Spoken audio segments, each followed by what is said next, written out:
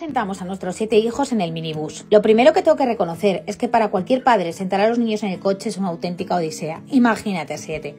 Generalmente a los niños no les suele hacer mucha gracia ir sentados y mucho menos atados, pero es lo que hay, porque tienen que viajar seguros. En nuestro caso es fundamental que los mayores colaboren y ahora que tienen edad de hacerlo les pedimos que abrochen a los pequeños y que vayan sentados a su lado vigilándoles, aunque a ellos también tenemos todavía que echarles una mano para colocar correctamente el cinturón. En nuestra familia nuestros hijos viajan a contramarcha como mínimo hasta los 4 años, aunque hay de reconocer que lo haríamos durante más tiempo si no fuese porque el espacio de los asientos del minibus no nos lo permite. Aún así tratamos de que viajen lo más seguro posible la normativa del minibús es distinta que la de los coches y los mayores llevan un adaptador que les permite utilizar su propio asiento como un grupo 2-3. Sentar a Mateo y a Marco quizás sea la parte más complicada de todas, aunque al final ellos aprenden que tienen que ayudar y si no, mira lo bien que se lo monta el chiquitín para subirse y sentarse solo. Claro que de abrochar a los pequeños nos encargamos nosotros, lo más complicado es luego que no se quiten el arnés. Y no os lo voy a negar, a veces hay que